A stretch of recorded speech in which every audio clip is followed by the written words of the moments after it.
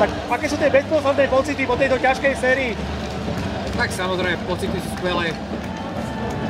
Séria do posledného možného zápasu na oko jasnej série, v podstate dráma až do konca, ale som rád, že sme potvrdili tú pozíciu, ktorú sme si vybudovali v základnej časti a ja som spokojný s mužstvom, v podstate som hrdý, čo sme dosiahli a teším sa na ďalší priebeh play-off. Na zápas ste vstúpili vynikajúco, bol to zámer, čo najrýchlejšie ten zápas rozhodnúť?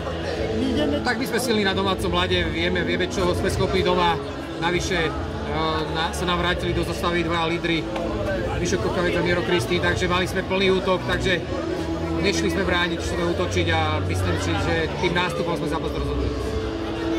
Ten zápas po tej prvej trekine 4-0, asi možno aj tak ťažko sa motivujú chalami za takéhoto stavu, nebali ste sa možno nejakého polavenia? Tak to je stav, keď e, ten zápas môžete už len strátiť, takže samozrejme prizvukovali sme, aby sa nezbláznili, aby nechceli dávať gol za gol, pretože hrozí, že sa otvoria zadné vrátka, takže ja som bol s tým priebehom, priebehom úplne spokojný a dopadlo to tak, ako malo dopadnúť. Čo pred tými ďalšími zápasmi už pondelok vás čaká Martin, tak um, možno pokračovať v tom dnešnom výkone?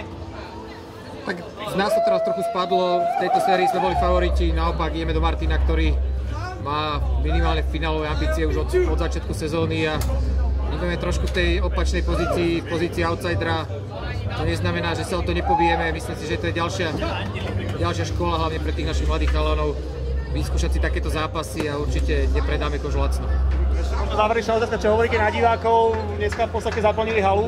Tak dneska bola asi najlepšia návšteva, tak verím, že sme ich navnadili aj do ďalšieho priebehu play-off. Čakajú nás minimálne dva zápasy doma, takže verím, že to ešte zopakujeme. Poďme nejako zhodnotiť celú tú sériu, čo vás vlastne dosť náročná séria.